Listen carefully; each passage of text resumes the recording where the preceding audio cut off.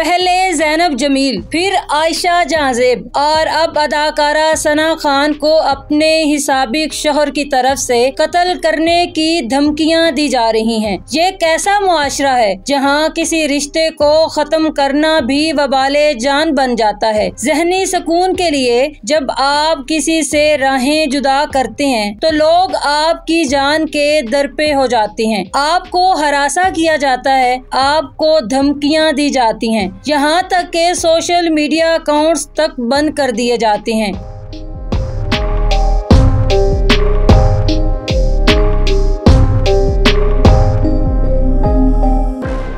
اداکارہ ثنا نے چودہ سال کے بعد جب اپنے شوہر سے طلاق لی تو وہی شوہر جس کے ساتھ اس نے چودہ سال زندگی کے خوبصورت پل گزارے۔ اور جو اداکار ثنا کے دو بچوں کا باپ ہے۔ باپ اپنے ہی بچوں اور سابقہ بیوی کو ہراساں کر رہا ہے۔ اداکارہ ثنا نے ایک ویڈیو پیغام میں کہا کہ ان کا سوشل میڈیا اکاؤنٹ بھی بند کر دیا گیا۔ انہیں اور ان کے بچوں کو دھمکیاں دی جا رہی ہیں۔ اداکارہ نے الزام عائد کرتے ہوئے کہا کہ ان کے سابق شوہر اور سسر کی طرف سے یہ دھمکیاں دی جا رہی ہیں۔ میں متعلقہ اداروں کے ذریعے قانونی چارہ جوئی کرنے جا رہی ہوں۔ یہ اوچھے ہتھ کنڈے ہیں۔ میں ان سے نہیں ڈروں گی۔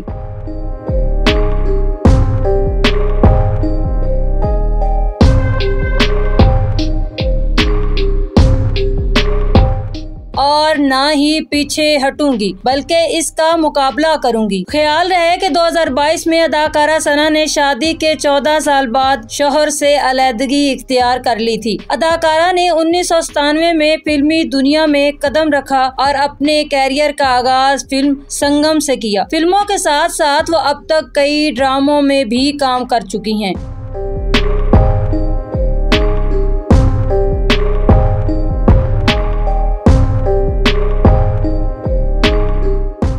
اداکارہ ثنا اور ان کے شوہر کے مابین کچھ ذاتی نوعیت اور جائیداد کا تنازع کچھ عرصے سے چل رہا تھا۔ یاد رہے کہ اس سے پہلے بھی کئی اداکاروں کے درمیان مسئلہ جائیداد کا ہی رہا، جن میں عائشہ جہازیب گلوکارہ حمیرہ ارشد اور بینا ملک جیسے نام قابل ذکر ہیں۔